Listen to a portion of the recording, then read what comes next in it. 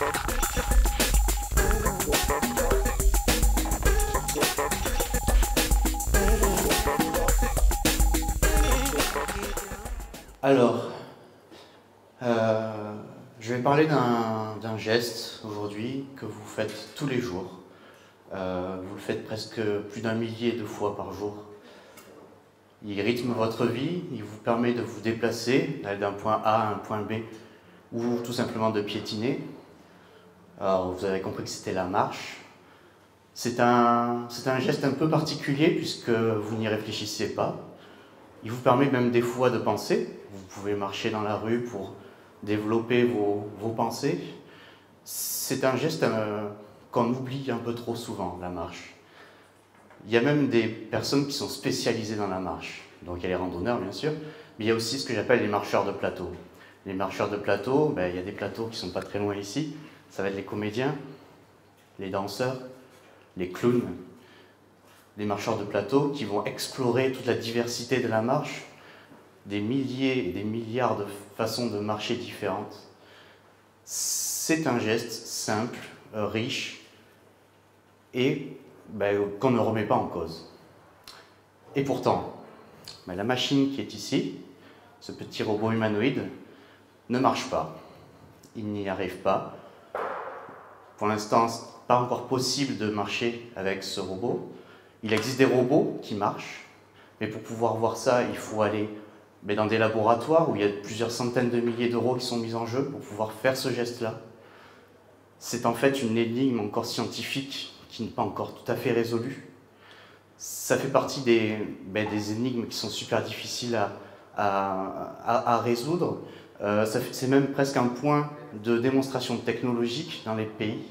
Quand on a un robot qui marche dans un pays, c'est un peu on a marché sur la Lune, sauf que là on a fait marcher un robot c'est vraiment une marque euh, très, très forte. Alors c'est très paradoxal. Pourquoi est-ce que ça serait si compliqué de faire marcher un robot? Il y a deux raisons principales. C'est que premièrement, il y a plein de choses dans la jambe. Il y a plein de muscles un peu partout. Il y a, plein de... il y a plusieurs manières de bouger la jambe différentes et on en a deux. Alors vous allez me dire, un quadrupède, ça va être encore pire. Mais en fait, non. Il y a aussi un deuxième point, c'est le déséquilibre, l'instabilité quand on marche, si jamais je fige mes jambes de manière instantanée, je vais tomber. Et pour ça, ben, en fait, il faut tout contrecarrer. Il y a tout un tas de choses qui se passent là-haut qui font qu'on tient debout.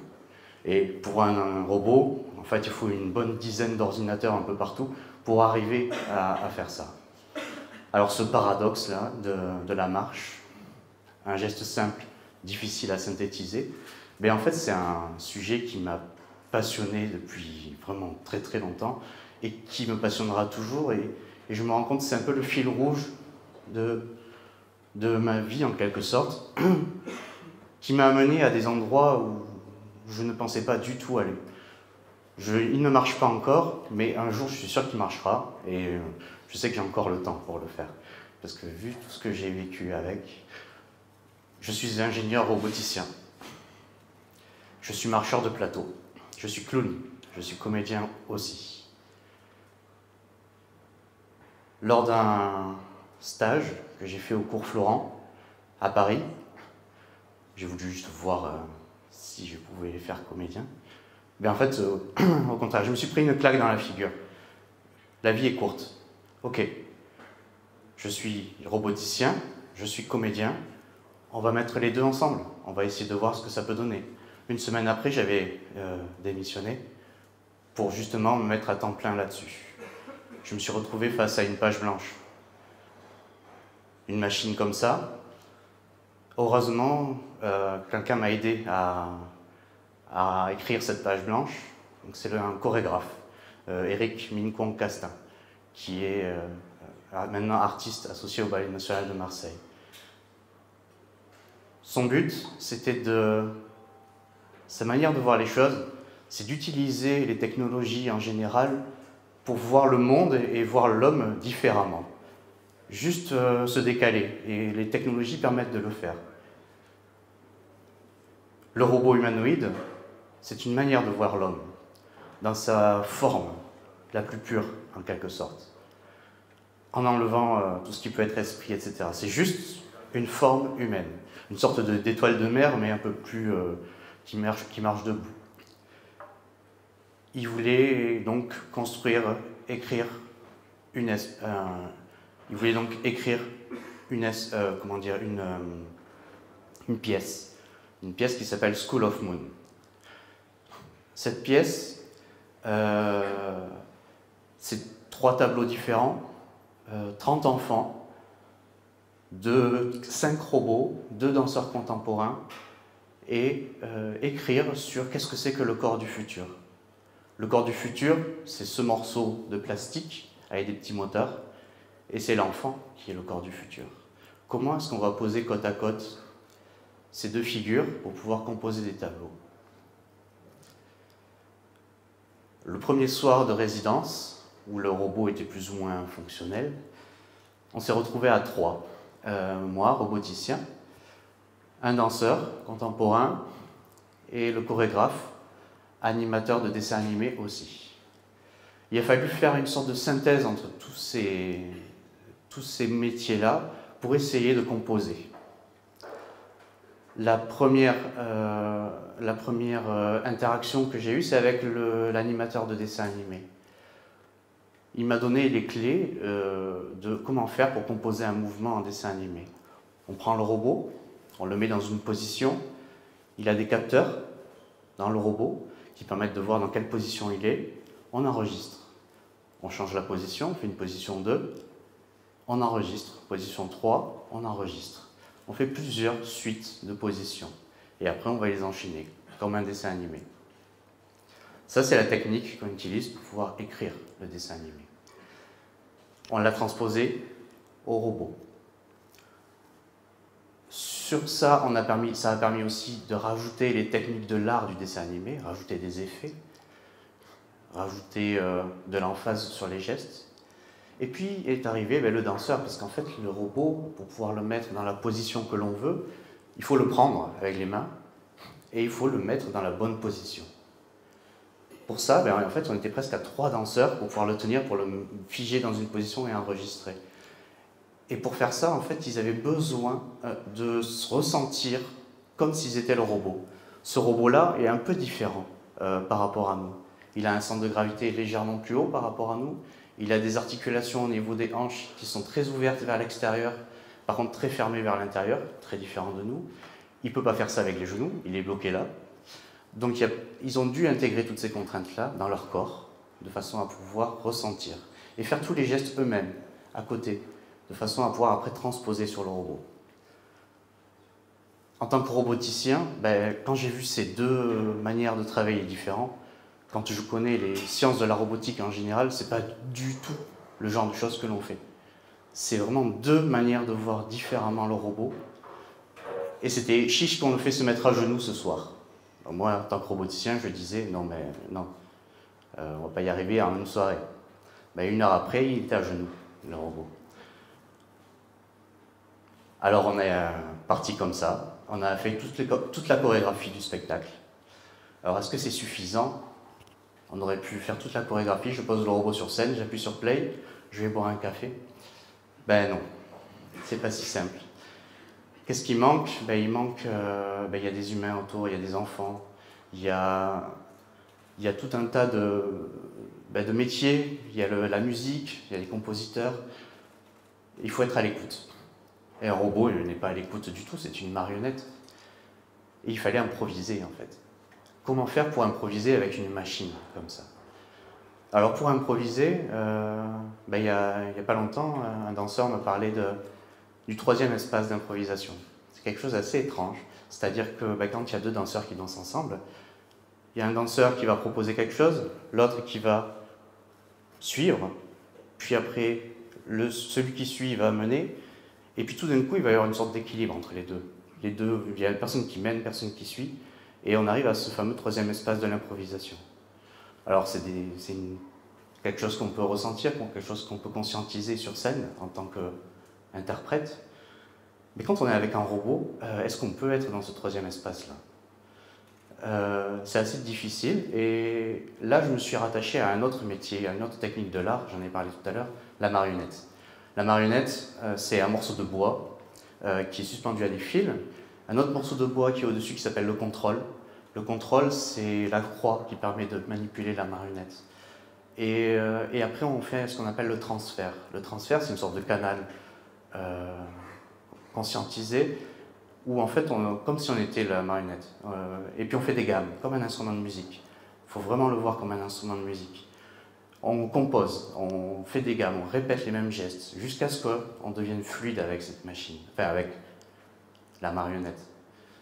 En l'occurrence, quand il s'agit de, de 29 moteurs, euh, beaucoup de plastique, un robot open source, euh, un dos entièrement articulé.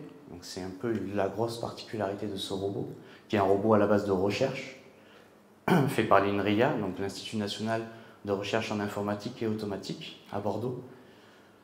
ben voilà, il faut arriver à transposer cette notion de transfert-là à travers le robot. Pour ça, j'ai dû euh, faire appel aussi aux techniques de pilotage de commande de vol, un domaine dans lequel j'ai travaillé. L'ordinateur que vous voyez là et ce fameux bout de bois qui permet de contrôler la... Sauf que là, c'est sans fil, c'est du Wi-Fi et le routeur est juste derrière. Donc c'est une sorte de marionnette sans fil, euh, une marionnette Wi-Fi. Alors euh, ben, ça permet d'établir vraiment le contrôle, le transfert. Mais voilà, la première du spectacle au Ballet National de Marseille, euh, le robot est seul sur scène, sur le plateau du ballet, euh, plateau de 15 mètres par 15, donc immense. Il est face scène, il est sur le ventre, comme ça. Et euh, il doit se relever et se mettre à genoux. Donc il se met à genoux petit à petit, et à la fin de la mise à genoux, il y a un morceau de fil qui s'est coincé et qui a déséquilibré le robot, il est tombé. Et là, je me suis dit, ah, pour la première, ok. Donc, euh, procédure de relevage, c'est reparti, on y va. Donc, euh, euh, remettre en mode fœtus, re, retourner, refaire toute la procédure pour pouvoir le relever. Parce qu'il du coup, il tombe sur le dos, donc il faut le remettre sur le ventre. Enfin, il y a énormément de boulot, je transpire à grosses gouttes. C'est vraiment un, truc de fou. Et à la fin, quand il se relève, il y a qu'un truc que j'ai pas envie, c'est qu'il retombe, parce qu'on euh, ne s'en sort plus. Et ben, il se relève, mais il tombe pas. Donc, c'est bon. Et là, j'étais là, oh, raté quoi. Euh, pour une première, ça ne le fait pas.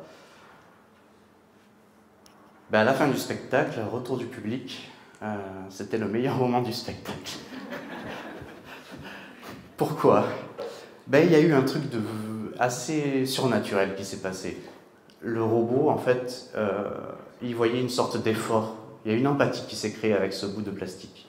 Alors, est-ce qu'on a le droit d'avoir de l'empathie pour ce truc-là? C'est assez étrange. Ben, en fait, on est sur scène. Sur scène, on a des personnages. Ce robot-là n'est qu'un personnage. Il incarne un personnage. Et c'est normal d'avoir de l'empathie pour ce personnage. Et je me suis rendu compte, et je le vois d'ailleurs maintenant dans toutes les autres machines, parce que je fais aussi plein d'autres machines, quand une machine fournit un effort, qu'on voit qu'elle fournit un effort sur scène.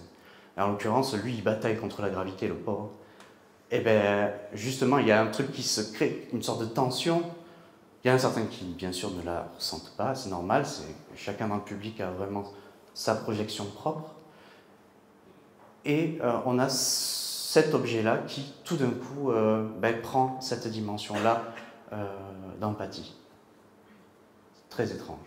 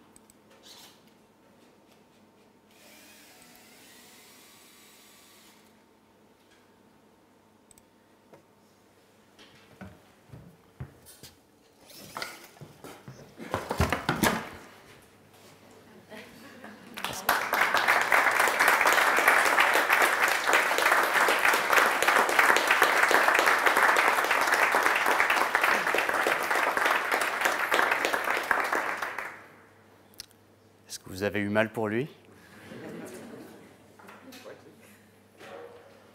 Il a eu mal. Euh, ben, Est-ce que vous avez des... Ah, merci. Merci Thomas. Avec plaisir.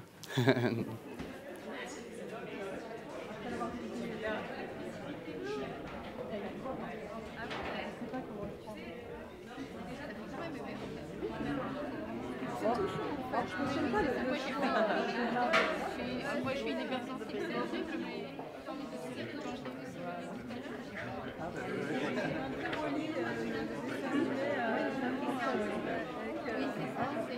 Le pied, comment ça. Là, pareil, il faut le faire bouger. C'est génial, les pieds.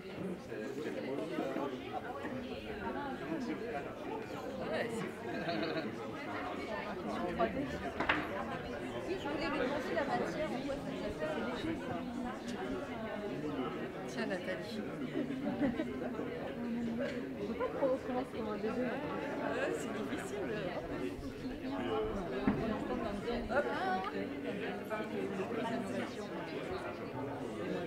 Oui, c'est dommage, oui, qu'il ait pu s'en avec une Oui, d'accord. Catherine Le Petit. Ouais, Il a les- il a les doigts fins. Il a pas voulu mettre des mains mignonnes. Mais néanmoins, ça lui va bien. Je trouve que ça lui va mieux que des mains. S'il avait des vraies mains. Moi, ça me a les doigts fins. Peut-être c'est pas la même matière que le reste. Peut-être.